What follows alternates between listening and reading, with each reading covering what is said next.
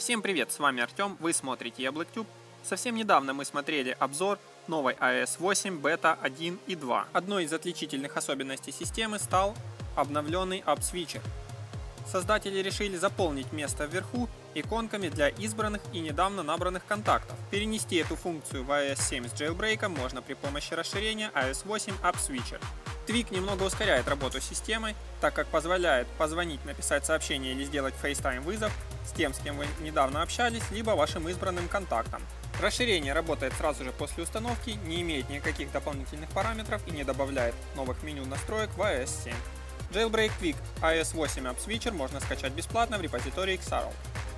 Не забывайте делиться вашим мнением и лайками под видео, добавлять ролики в избранное, также подписываться на наш канал. С вами был Артем, специально для YablokTube. Пока!